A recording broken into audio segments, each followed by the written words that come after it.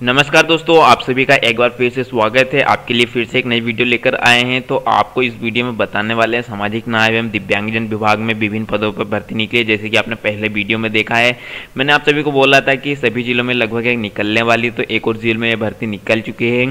तो उस भर्ती के बारे में हम विस्तार से जानेंगे। तो अभी तक आपने हमारे चैनल को सब्सक्राइब नहीं किया है तो जल्दी से जाइए पहले चैनल को सब्सक्राइब कर दीजिए, ताकि आप सभी दीपेश गौर परिवार के सदस्य बन सके और आपको सभी ऐसी अपडेट मिलती रहे।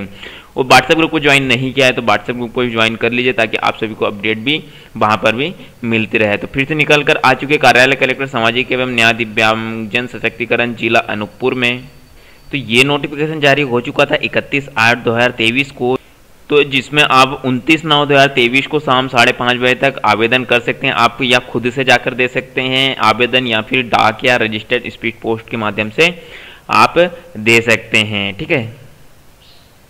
तो दोस्तों, सभी पद वही रहने वाले हैं और सैलरी भी सेम रहने वाली है क्योंकि सभी जगह सेम प्रोसेस रहेगी, ठीक है? वही है, सब पद भी वही हैं टोटल जैसे कि मैंने आपको बताया था, पंद्रह पद सैलरी भी वही है।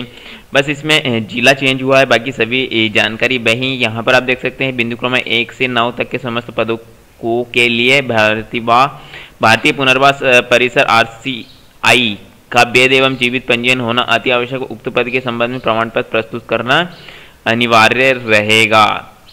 आपकी आयु एक जनवरी दो हज़ार तेईस के अनुसार अठारह वर्ष के हो जाना चाहिए। आपको जो है वो एक वर्ष के लिए केवल रखा जा रहा है। मध्य प्रदेश शासन, प्रशासन विभाग, मंत्रालय, भोपाल के पत्र क्रमांक के अनुसार तीन नंबर 2012 के अनुसार आयु की गणना पुरुष यदि आवेदक है और अनारक्षित वर्ग का है तो उसकी आयु 40 वर्ष पुरुष आवेदक की सभी टोटल चालीस वर्ष होनी चाहिए और पुरुष आवेदक, जो कि अनुसूचित जनजाति जनजाति पिछड़ा वर्ग का है तो उसकी आयु 45 वर्ष।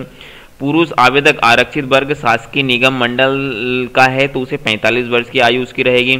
महिला आवेदक की किसी, कोई भी महिला किसी वर्ग की हो सभी के लिए 45 वर्ष रहेगी। संविदा पर नियुक्ति विषय विशेषज्ञ कर्मचारी के शासन द्वारा निर्धारित मानदेय आपको दिया जाएगा।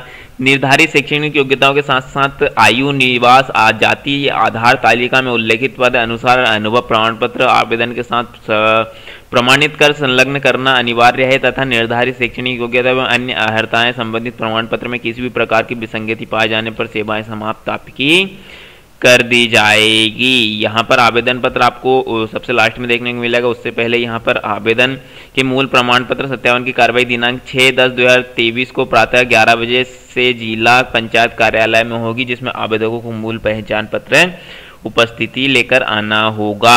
अगर आपने आवेदन भेजा है तो आपको छः दस दो को प्रातः ग्यारह बजे से जिला पंचायत कार्यालय में आपको मूल पहचान पत्र और दस्तावेजों के साथ उपस्थित होना होगा।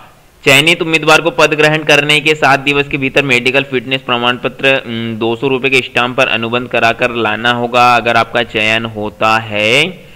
तो यहाँ पर सबसे लास्ट में आपको आवेदन पत्र देखने को मिलेगा। इसमें आप, आपको आवेदन पत्र पूरा भर के एक आपको ठीक है आवेदन पत्र पूरा आपको भर देना है और मध्य प्रदेश के जिला अनूपपुर ठीक है, मध्य प्रदेश के जिला अनूपपुर, सामाजिक न्याय एवं दिव्यांगजन सशक्तिकरण जिला अनूपपुर में इसे भेज देना है। उनतीस नौ दो हज़ार तेईस साढ़े पाँच बजे से पहले पहले आप या तो खुद जाकर दे दीजिएगा या आपको पोस्ट ऑफ़िस या स्पीड पोस्ट के माध्यम से भेजना होगा। तो दोस्तों, ऐसी अपडेट पाने के लिए चैनल को सब्सक्राइब कर लीजिए और व्हाट्सएप ग्रुप को ज्वाइन कर लीजिए। अभी तक वीडियो को शेयर नहीं किया है तो जल्दी से दोस्तों को शेयर कीजिए, ताकि जिसे भी कार्यालय कलेक्टर जिला अनूपपुर सामाजिक न्याय दिव्यांगजन विभाग में जॉब करना है वो उसकी जो शैक्षणिक अर्हता है वो उसे पूर्ण करता है तो ज़रूर अप्लाई करिएगा। तो चलिए मिलेंगे नई अपडेट नई जानकारी, नई इन्फॉर्मेशन के साथ। इस वीडियो में इतना ही। नेक्स्ट वीडियो लेकर आपके साथ जल्दी मिलेंगे। तब तक के लिए दीजिए इजाज़त। जय हिंद, जय भारत। बंदे मातरम।